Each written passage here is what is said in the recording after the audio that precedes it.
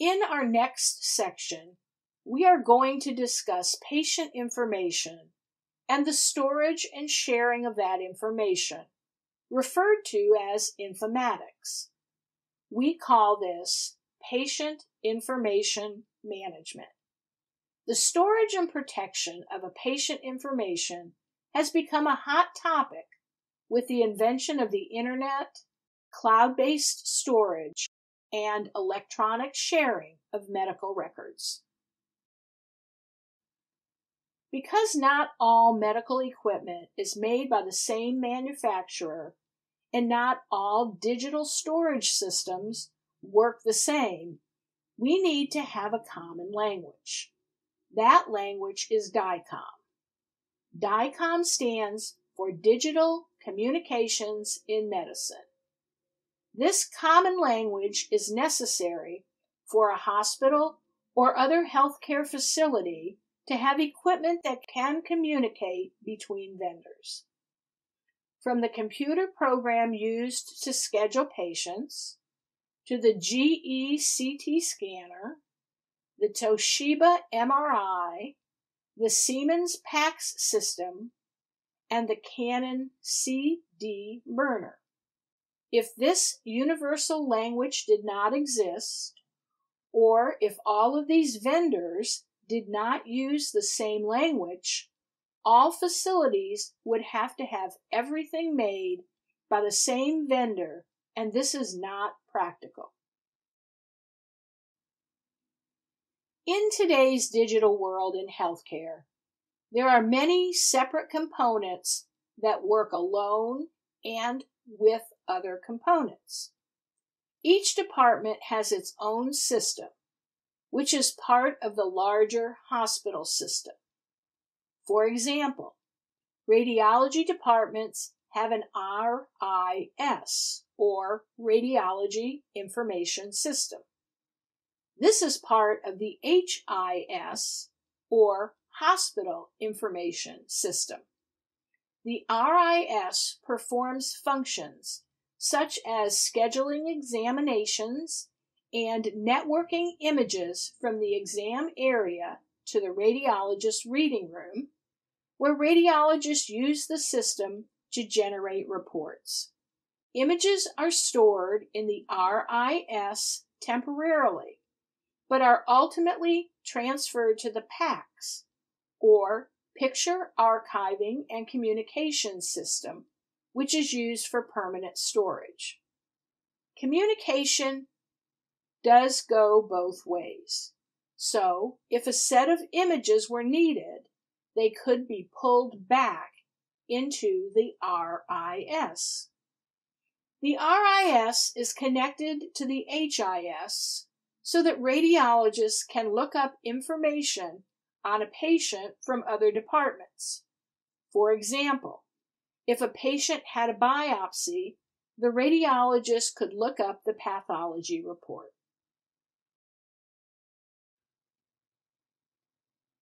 HIPAA is a very serious topic as it relates to the care and sharing of protected health information. Be careful. It deals with health information, but the I stands for insurance. HIPAA stands for Health Insurance Portability and Accountability Act. The history behind HIPAA relates to a time before all healthcare records were electronic. Insurance companies were among the first to deal with electronic medical billing and coding practices. This law was created after insurance companies shared sensitive information about patients to their employers or family members. In today's world, HIPAA includes much more than insurance practices, as many technologists and healthcare workers have access to a wide variety of electronic information about patients, both current and past, those they are treating and those they are not. The bottom line is the only people who should be accessing patient information are those who are caring directly for that patient or those who need that information to perform their jobs. An example of inappropriate access to medical records is a lab tech is in the ER to draw blood on a patient and notices a coworker in the ER waiting room waiting to be seen.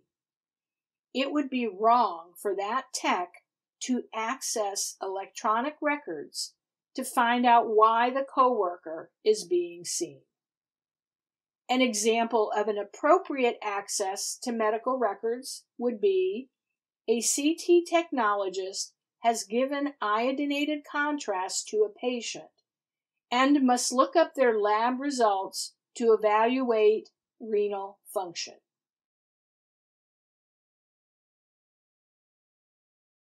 Electronic healthcare records and electronic medical records mean the same thing.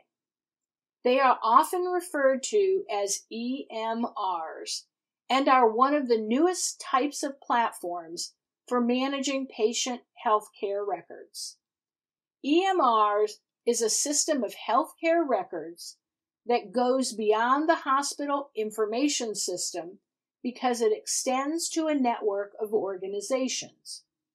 There may be various doctors who are associated with the hospital but not a part of the hospital's system directly.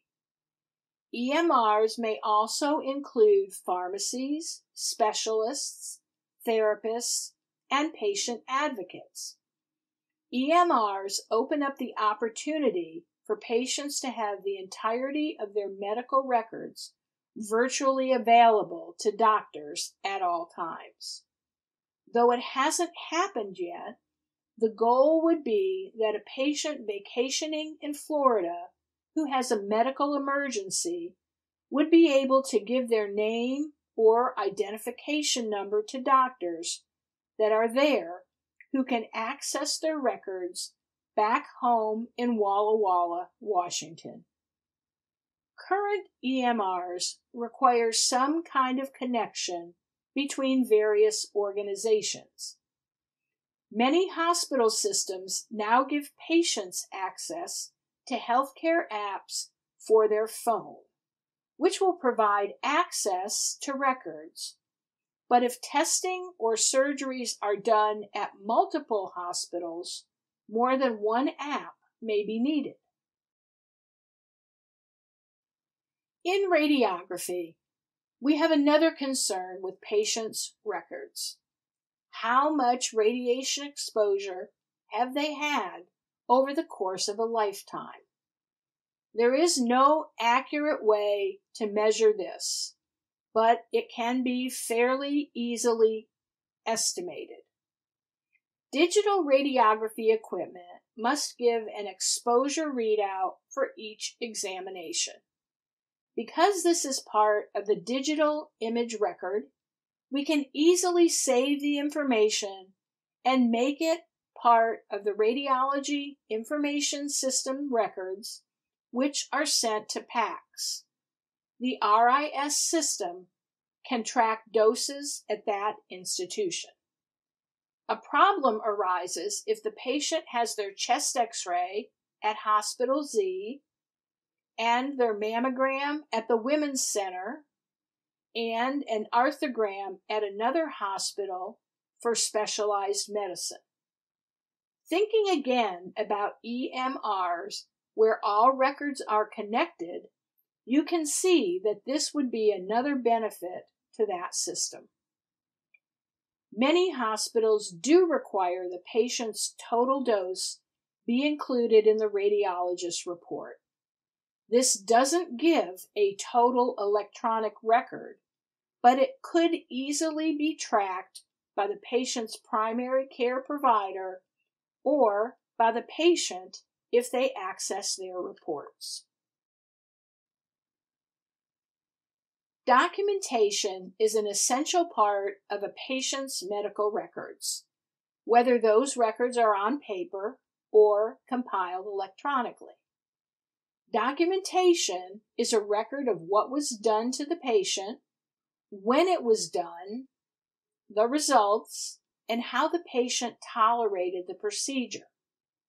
Medical records must include demographics, patient demographics such as name, date of birth, gender, ethnicity, height, weight, address, who they live with, and does the patient have a DNR or advanced directive? Patient history. What known chronic conditions does the patient have? What surgeries has the patient had? And are there any known allergies, for example? This would also include current situation. What is happening now? Why the patient was sent for testing or why the patient was admitted to the hospital. Physician orders. All active orders are placed here, along with documentation of when the procedure has been completed. Lab x-ray results. All reports from this type of procedure will be found here. Surgical history, a more detailed report from surgical procedures. Surgical procedures are dictated by the surgeon after surgery. This area would include information about implanted devices which could be important, especially to MRI technologists. Nursing notes, progress notes, areas for notes from other healthcare providers. Radiographers will make notes here when a patient has radiologic procedures performed. The important thing to remember about medical records if it wasn't written down, it wasn't done. Good medical records are essential in medical malpractice suits, and records should be clearly written, concise, accurate, and timely. Thanks for watching. To purchase the full course and earn your CE credits, click on the link in the description or head on over to our website at www.medical-professionals.com. And while you're there, check out our All Access Pass, where you can get unlimited CE credits for your state and ARRT renewal for just $49.99. We also offer a host of free resources to make it easier than ever for radiologic technologists like you to achieve excellence. Check out our free radiology CE webinars, clinical reference guides, and free CE courses on our website today. Be more than just certified. Choose medical professionals.